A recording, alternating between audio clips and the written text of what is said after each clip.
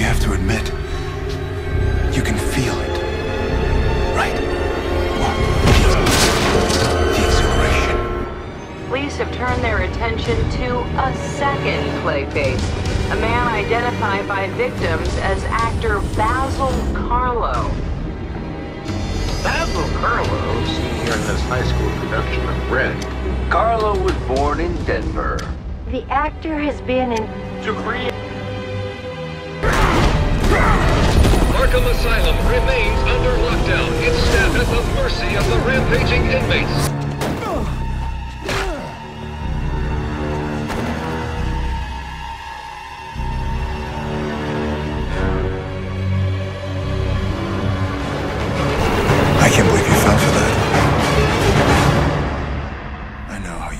About them. Me too.